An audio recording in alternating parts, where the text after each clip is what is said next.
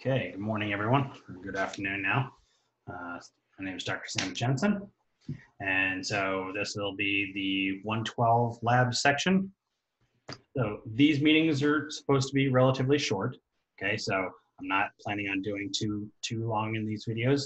The purpose of these videos is, or these phone calls is to go over the lab content.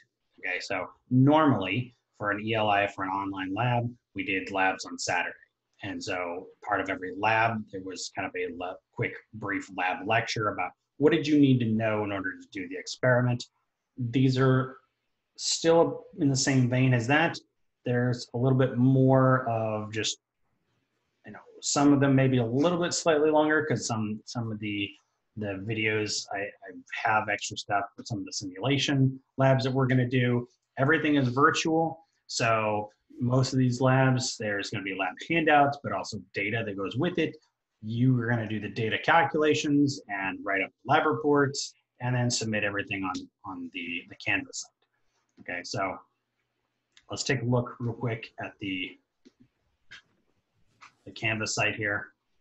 Okay, so obviously if you're, you go into to our lab link, so it has the important stuff up front, the lab report format, which we'll cover, here in a second, some do's and don'ts.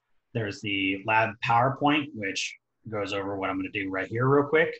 There's also a lab report example, and then the various labs that we're going to do. So the first one we're going to do is the hard water lab, then there's a vitamin C titration, kinetics, equilibrium, weak acid titration, electrochem, and so at the very bottom are the links where you would go to upload your various reports.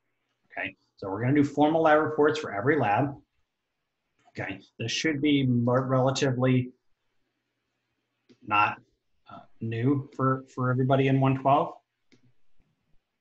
So let's take a real quick look at the lab reports. Again, none of this should be none of this should be new. Okay, this should not be the first time you've done lab reports. Okay, so my real only guidelines are that for some of these is I don't, I really don't want the, the lab pages. Okay, so if there's a PDF of the lab report or a PDF handout, I just don't want my lab PDFs back. Okay, so preferably you would write up your lab report and uh, everything would be in a Word document. You would format it and put everything together in one clean lab. Okay. So this is the general lab report format. Every lab that you submit should follow this general format.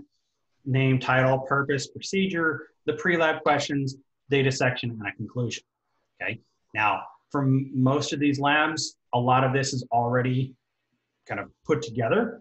So things like the purpose and procedure and pre-lab questions are in most of the lab handouts. Now, if a lab doesn't have pre-lab questions, then obviously you wouldn't put include that in, in the experiment, okay? Um,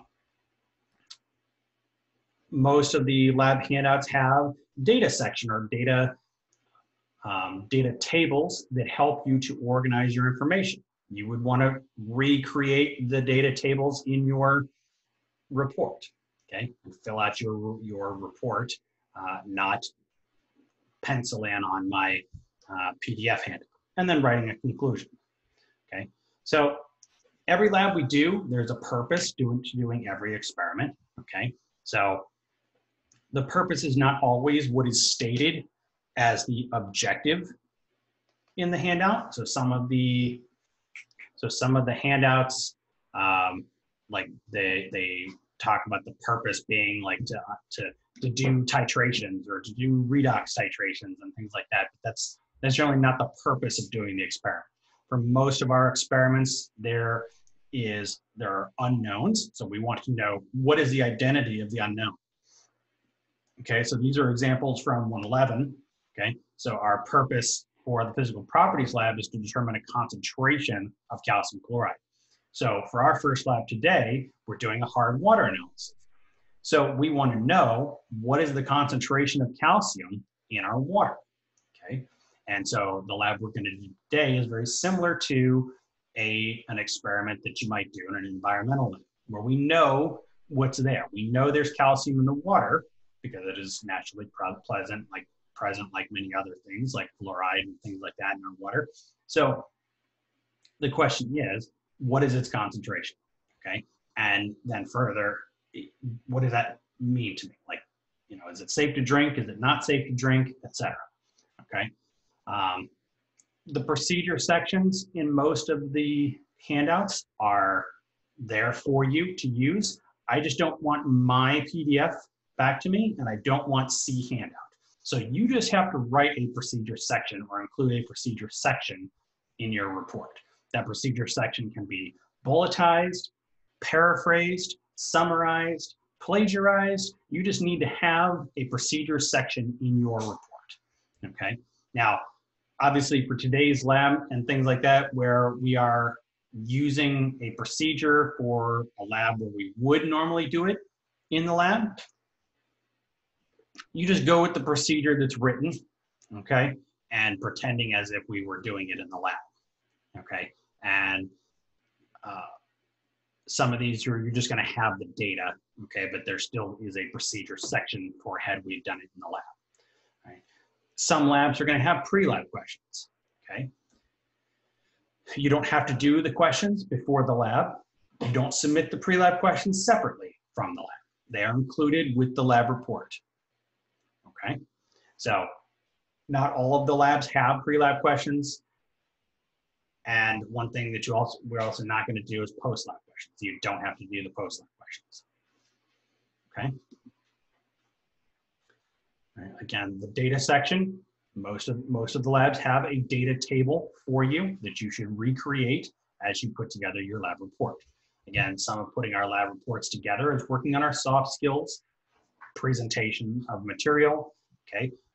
If you were giving these lab reports to your boss your boss would not want them written in crayon on a napkin. Okay. You would want to put it together in a nice format. Many of us work in a customer driven area. And so customers are paying for information. And so if your customer is paying you to, for, to do analysis on their water and they want to know what is the content of the calcium in their water, they want a nice, clean report, not something that you hand scratch together. Okay, so again, these are soft skills that are important no matter what class you're doing. It's not a, not even about chemistry. It has nothing to do with chemistry, but these are skills that we have to develop along the way is presentation of material. So even if your material is not great, the least thing you can do is present what you do have in a better way. Okay, is present it in a way that looks good. Okay, the conclusion is only a paragraph or so. There should not be anything really long with the conclusions. Okay. Uh, these are called different things in different classes. Again, this is a 112 class. you've already had a 111 chemistry class uh, or an intro chemistry class, and these may be called different things. Discussion section, summary, or conclusion. They're generally not synonyms. Okay, they can have different meaning based on what your professor is looking for. Okay, and most professors describe this in a different way, in different ways, or, or what they're looking for in different ways. Okay, so what I'm looking for is this paragraph format. Okay, so I don't want bullets, I don't want uh, fragment sentences or equations put into the conclusion. All right, so it should be a paragraph. You should be writing in third person objective, which really just means don't use I, me, we, talking about the experimenter, talking about, you know, Sam doesn't, Sam did this and then Sam did this. Right? We don't talk about ourselves in the third person. Right? They are complete sentences, English preferably. Okay. Um, and our conclusion is focused on what was the purpose of doing the experiment? What was the purpose of the lab? All right. Now, when I teach this, generally this these are the four main things that that that I put that I focus on when I teach writing conclusions. Okay, what was the purpose of doing the experiment? Right. Uh, every purpose. This is kind of like restating the hypothesis kind of thing. Okay. A methodology. So this is not a regurgitating the procedure. Okay, I don't want a long procedure rewritten. Okay. The methodology should be short. Right? It should be something that you you summarize like for example, today's lab, we would be using a titration as our methodology for determining our unknown. Okay, by what, how did we go about determining the purpose of the experiment? And then number three, what was the results? Okay, these are often numerical values. What was the concentration of your unknown? Put that number in there. Those are, those are the important results for the experiment. Okay, and then the last thing is analysis. Some of the labs are not going to have in-depth analysis. This particular first lab will have some analysis with it. If I tell you that you have 5 ppm of lead in your water, okay, that may or may not mean anything to you. I mean, unless you automatically assume that any amount of lead in your water is bad, okay? But if you have 5 ppb of lead in your water, which may be the natural lead content in your area, in your water, okay, it is perfectly fine to drink. Okay, you may not have any adverse health effects from drinking water with 4 ppb of lead. Okay, but it was if it was 40 ppm, maybe then you have something to worry about. Okay, so the analysis part is what is what does the number mean?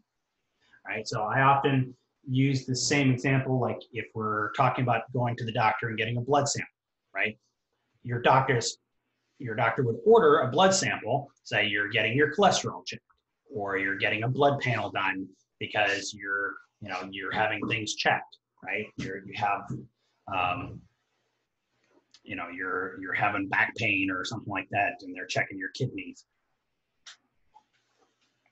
And so the purpose is to, to run a blood panel to determine if there's something, you know, something wrong with your health. The methodology may be different depending on what they're testing. You you'll get your results. They give you a, a, a if you you know you probably have a my health portal kind of thing at your doctor, and you log in and you see that you know your cholesterol was you know 112 and then they tell you that the normal range is between these two things and your you know your a1c is you know this number and it's these are the normal range and then you go back to the doctor and they look at all of those numbers together and they make a diagnosis based on those that information. Maybe those numbers by themselves don't mean anything okay? But when you put them in context of one another maybe there maybe it indicates that you have some sort of renal issue right? Or you have some sort of liver issue that is an underlying health issue okay? That maybe the number one number is low by itself may not be may not be a big deal okay? But you need the analysis. What does this mean as a larger picture with regard to my health okay so some labs are going to have analysis some labs may not okay but whatever the results are we need to be able to put down actual numbers in the conclusion okay so here's an example here right so this conclusion you'll notice has basically what I'm looking for. There's numbers in there. There's a very brief looking at what the procedure was, but it's not overly intensive. Okay. There's data and the results. So this is similar to the lab that you're going to write today. Okay. So if we look at the, the parts here, okay. So the purpose of the experiment how do we go about testing the the purpose? What do we how do we go about finding the answer? Okay there's two parts to your experiment. So part a has an answer and part b has an answer. Both of those results are important towards the final result of the the the analysis. And then what does that mean? What is the anal what does that number 65 ppm mean? Okay.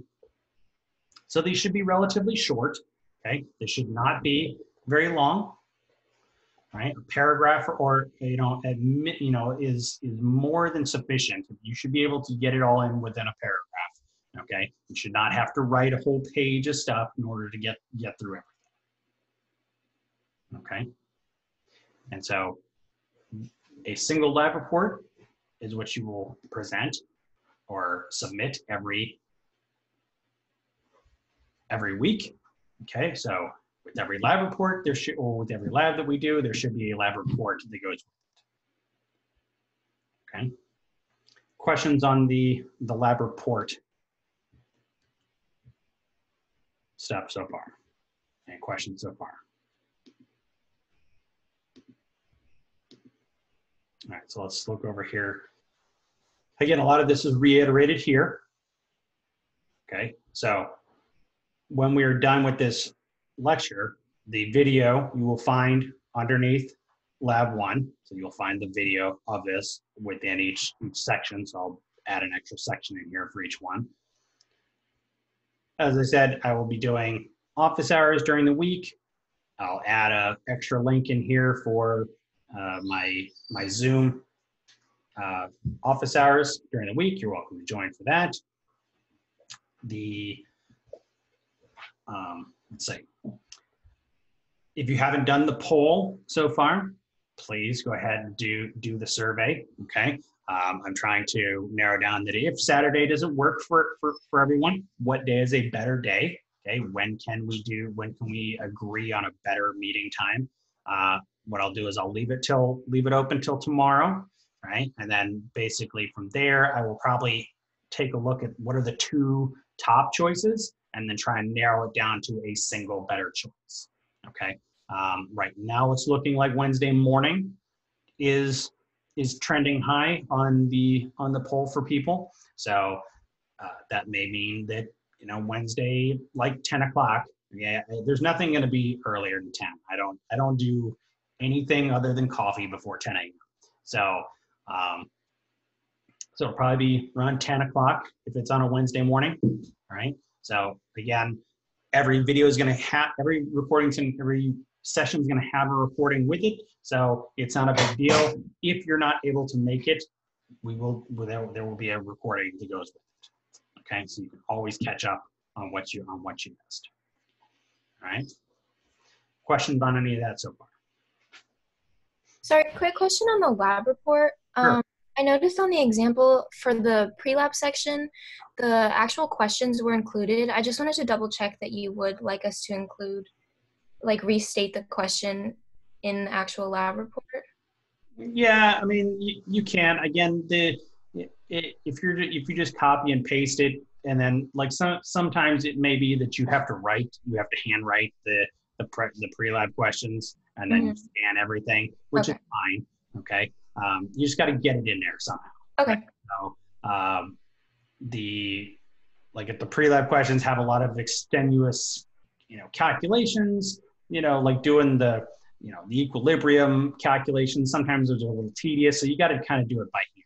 Okay. So you, so you may just want to PDF the whole whole document at the end when you're done. Gotcha. Okay, thank you. Mm-hmm. Um, I have two questions. Sure. Uh, do we need a title page?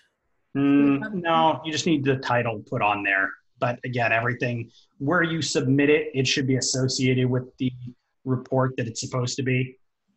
So you just you just need a title on your report. Okay. And then uh, my second question is if it gets changed, if the lab gets changed to Wednesday, mm-hmm. would the lab report be due on the next Wednesday by midnight? Mm, I, I may not change anything else. So I'm, when we do the meeting, I may keep like, I mean, the report would probably still be due. The you know I'll, I'll pro- I don't I probably won't change change the due dates for things, I'll probably keep the due dates on Saturdays. Okay. Right.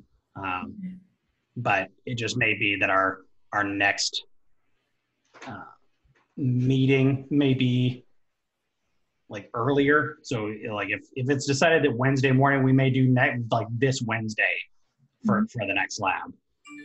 And in that way, then we'll shift until until we're in we're in a better spot. And so then we'll just shift it to to the Wednesdays from there on. So maybe that we have two meetings this week uh, to to preempt everything. Okay, sounds good. Thank you. Okay. Other questions? Uh, yeah, will you accept submissions of the lab report early so that you can review it and like tell us anything we missed or anything that we can prove before the final due date? Uh, I mean, you know, if it's if it's a big, you know, question of whether or not you're on target, you can email me the stuff. I mean, whatever you submit to Canvas, you should be prepared to get graded for that. So I wouldn't submit anything on Canvas. I mean, again, I check the email every day. I can take a quick look at your your lab reports and things and just check that you're on the right track if you email it to me. But uh, like I said, I wouldn't I wouldn't be going with that as your as your main way of doing. It. Most of these should be relatively straightforward that you shouldn't need to to really take a pulse on your lab reports all the time. Um, so, and like I said, what, if you're following the format and you you listen along with this, then you should most of them should probably be in good in good shape. So, but you, you can email me in advance if that's really a like a you know a big deal. Okay. okay. Thank you. But but definitely get something put on there. So I mean I understand you know as our you know schedules get busy you know definitely give me something to grade. Like don't not submit anything okay? Because definitely i mean the you know getting partial credit for something is better than taking a zero on a, on a lab so uh, definitely just try and get get the stuff in as best you can. Okay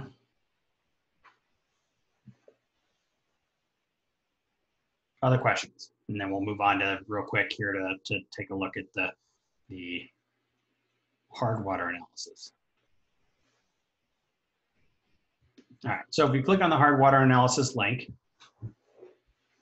okay, so it talks about what this lab is about. So again, we here we are analyzing two uh, two water samples. So one of them is a standard calcium sample.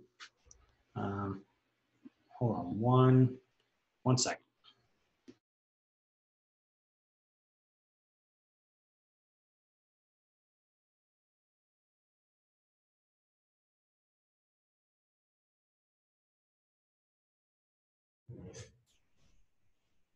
Sorry about that.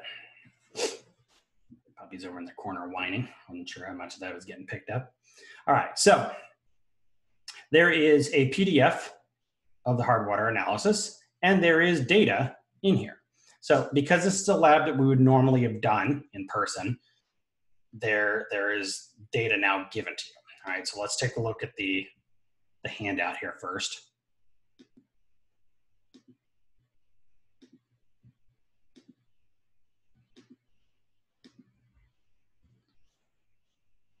All right, so here is your lab handout, right? So right off the bat, we can see that the objectives here are different than possibly the stated purpose. Okay, the purpose of this experiment is to determine the calcium concentration of a water sample, which is identified as the third objective here, but the other ones are not really the purpose of doing the experiment.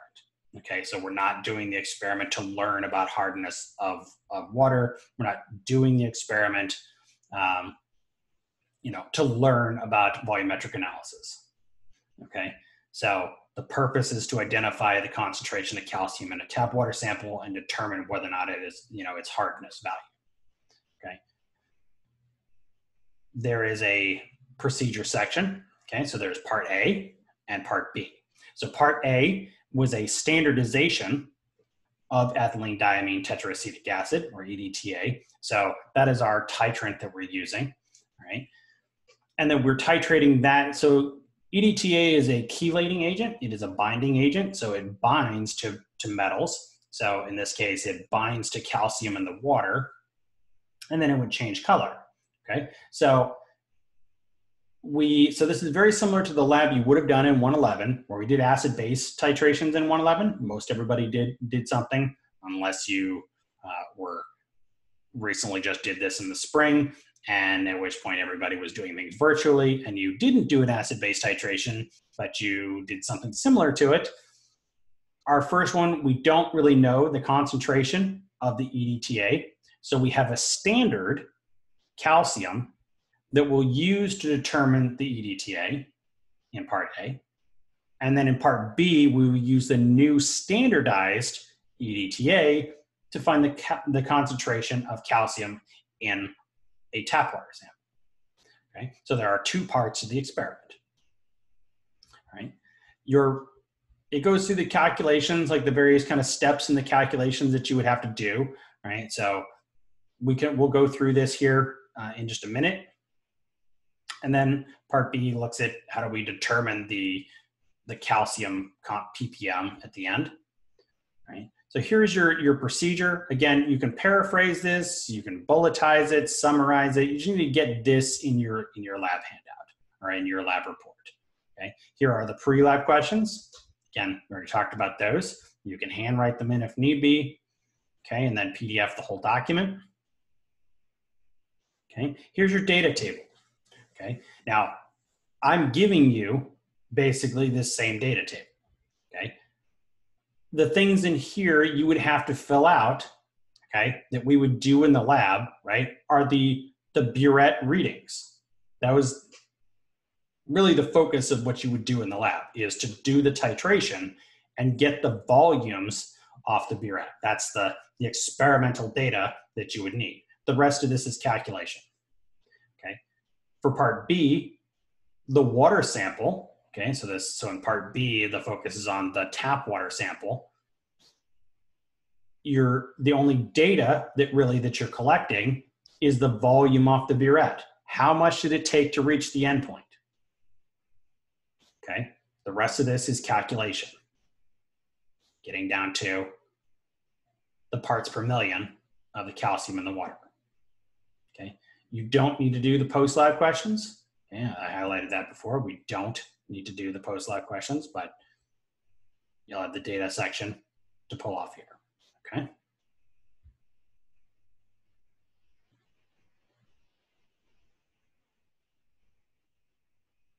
Questions on this one? Again, we'll look at the calculations here in a second as we look at what, what, date, what data do you have?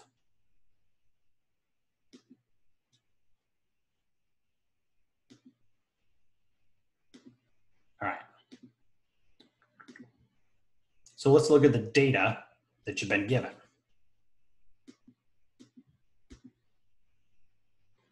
Okay, now this should follow pretty much exactly along with the data table handout, okay, with the data table and the handout, okay. The concentration of the standard calcium, okay, so we are, we are starting from a 200 ppm calcium standard, okay. So in many labs, we have standards that we purchase. Okay, so we know that this is 200 ppm. Okay, so the question is then, what is the concentration of the EDTA? Okay, so here you see the EDTA. Okay, we don't know that part. So we have two parts of these labs. We have calcium and we have EDTA. In part A, we know the calcium and we're using that to find the EDTA. In part B, we know the EDTA and we're using that to find the calcium in another sample. So your first one is calculating the molarity of the stand of the calcium standard. So we're going from ppm to molarity. Okay, now this is a common calculation. Uh, you'll probably find this in your first chapter. Okay, so your first chapter deals with uh, intermolecular forces. Mm, you, you, may not you may not get to this to your second chapter, maybe okay, because they introduce various uh, other kinds of units, right, in the second chapter, maybe. So, but we want to know the moles of EDTA. Okay, so this titration works the same as the acid base titration. At the end point, the moles of the calcium equal the moles of the EDTA. All right, so here's your burette readings. So you would have done the titration. So we've got a volume. So you have four samples. Okay, we have four samples. So we have four volumes delivered. And so we can get four molarities of the EDTA, which you can then average and get a decent average value of the EDTA from part A. Okay. In part B, then, the average molarity of the EDTA is what you already have. Okay, so you would have gotten that up here. we took four water samples at 25 milliliters each, and we titrated the, the water. Okay, the calcium is, is what goes into the flask, so the calcium sample would go in the flask, the EDTA would have everything in the burette. Okay, so here we have 25 milliliter water samples, and we titrated them against the EDTA. Okay. Again, the amount, the moles of EDTA dispensed at the endpoint would equal the moles of the calcium in the sample. Okay. So if we know the moles of the calcium in the sample, we know the volume of the sample, moles and volume equals molarity. And then we go from molarity to ppm.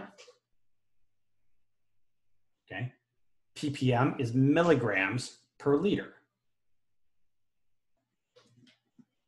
Okay. So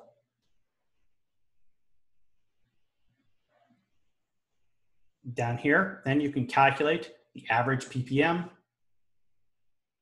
the ppg or GPG, the uh, grams per gallon. You can calculate that too. Uh, and then I want to know what is what is the what is the value of the water? Okay, what what is the concentration of things in the water? Okay.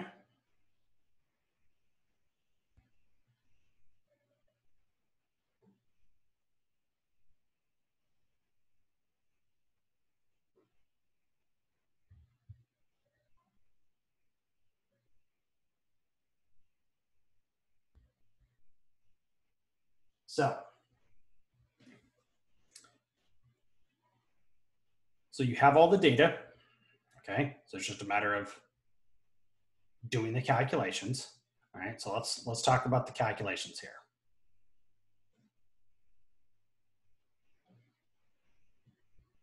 Uh, you may have to find uh, the camera. So it's so in the uh, guest view or in the the, uh, the you know people view. So you may have to find Sam67 is the co-host now.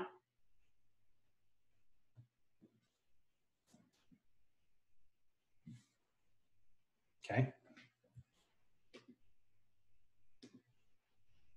So you should be able to see my, my piece of paper.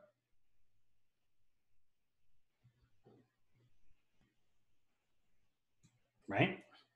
Anybody can't, is, anybody having a problem seeing the piece of paper and my, my blue pen? And you cannot see the piece of paper and the blue pen.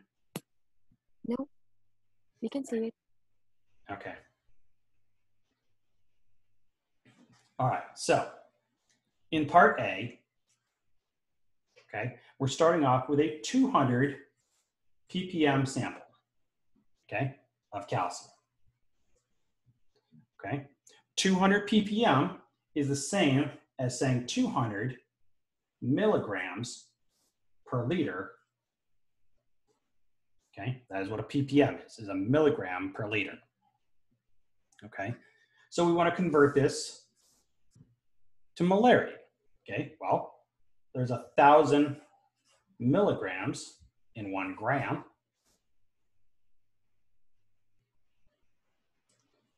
And since we're since the basis of the calcium here is for calcium carbonate, there's 100.1 grams per mole.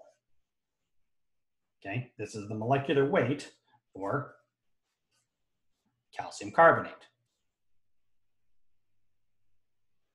Okay, so you would multiply all the numbers on the top, divide by all the numbers on the bottom, and this would give you a molarity right? So the milligrams go away, the grams go away, and the only units you're left with are moles per liter. Okay, so this tells me the molarity of the calcium in the sample. Okay, that was one of the first calculations in the data table. Okay. Now, when you're titrating it, okay, you have the moles the calcium per liter, right? So this is the, the molarity. If we multiply this by the volume of our sample, okay, so the volume of the sample, remember you have to convert this to liters, okay? Don't forget to, you gotta convert it to liters. This gives me the moles of the calcium. Okay, this is given to you already. Okay, this is given to you already. Okay. Um, is it possible to zoom in a little bit? Yeah, that's good. Thank you. Okay. From the titration, the moles of the calcium equal the moles of the EDTA. Okay.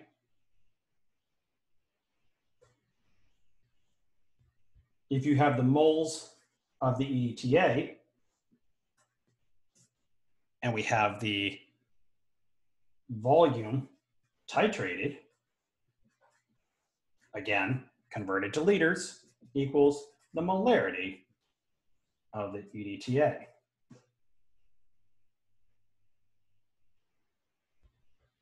Okay, so this number here is going to be the same as this number here.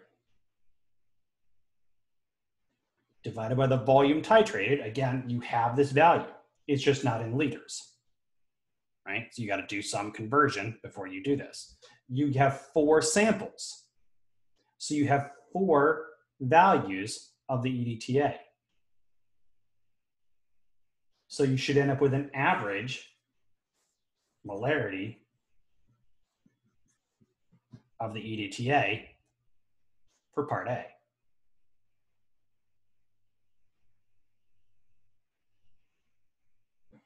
Okay, that is the goal of part A.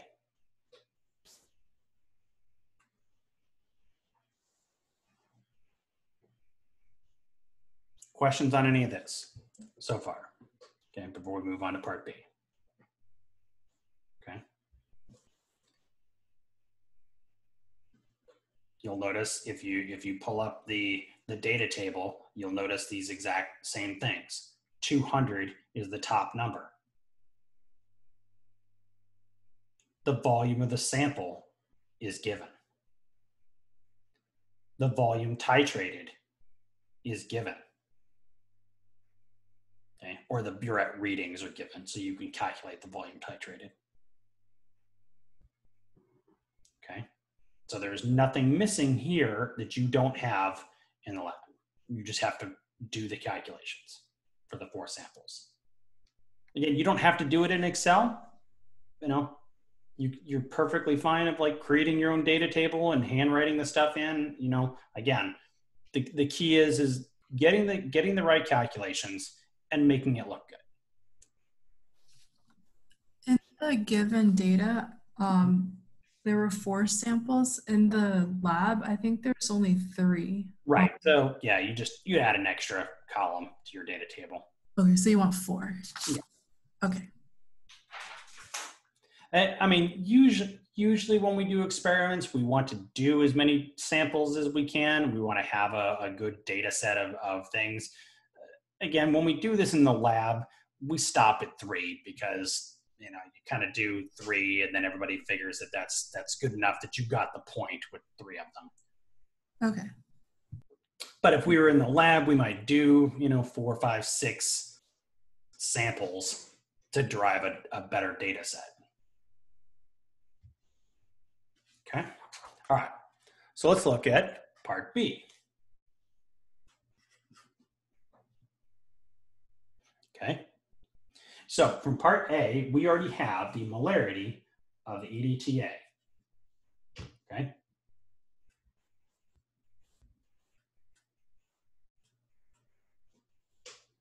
Okay, we already have this value. Okay, so from the molarity of the EDTA, okay, times the volume we titrate, right? Molarity times volume would give me the moles of EDTA. Okay, you have the volume titrated. That is a piece of data given to you. The moles of the EDTA equal the moles of the calcium in the water sample.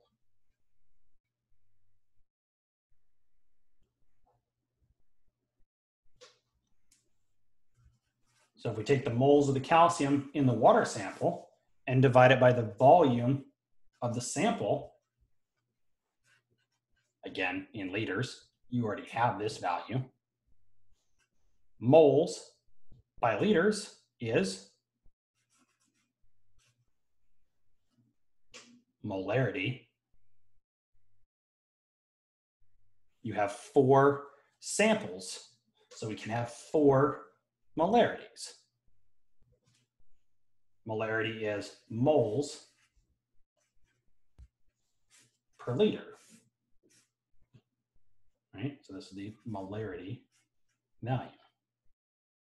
Okay, in one mole, there is 100.1 grams of calcium. This is the molecular weight for the calcium carbonate. In one gram, there is a thousand milligrams.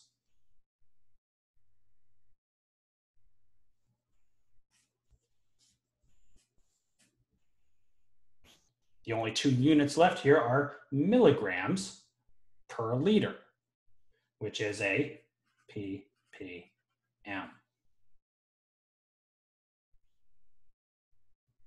You have four samples. You can calculate the ppm of each sample and get an average.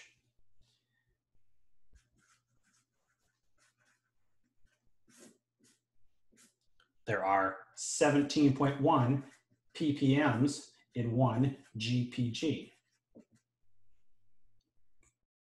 Okay, again, all of this is in the handout, right? All this is in the handout.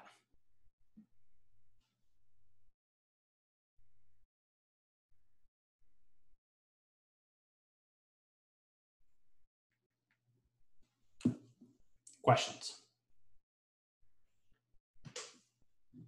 You have the data, okay? You have all the data that you need. You have pre-lab questions. You have a procedure section. You just need to do the calculations for the four samples in part A, get a average molarity of the EDTA. You have four water samples, tap water samples for part B. You can get an average ppm and GPG of your water sample. You can then tell me what is in my water.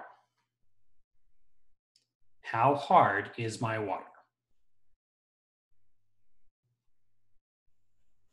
All right. And that concludes everything that you need to know for this lab. So I will pause the recording here and we can talk about questions